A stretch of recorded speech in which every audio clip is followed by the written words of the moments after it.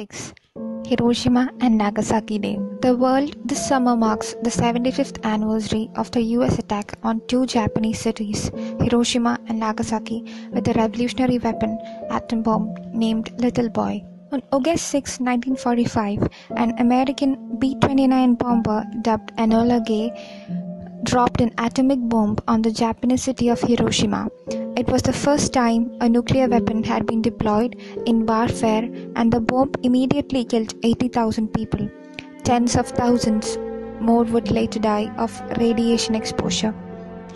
Three days later, another atomic bomb was dropped on the Japanese city Nagasaki, instantly killing a further 40,000 people.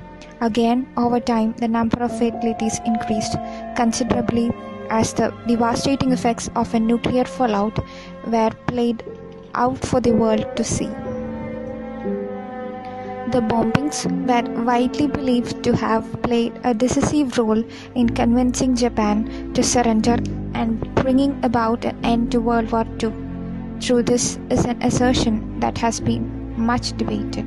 Why? Why was Japan so attacked?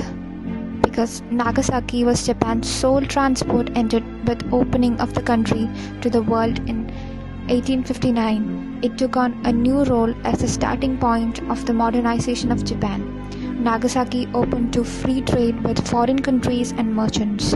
Out of this, a major attack was planned on Japan on 6 August 1945. Now, Looking back at these terrible events, inevitably our collective memory has faded and is reshaped by current perspectives. With the passage of time, those who actually experienced the bombings of Hiroshima and Nagasaki have become far fewer in number. Although their own memories of the trauma to themselves and their cities may remain vivid, their stories are unknown by large portions of the world's population.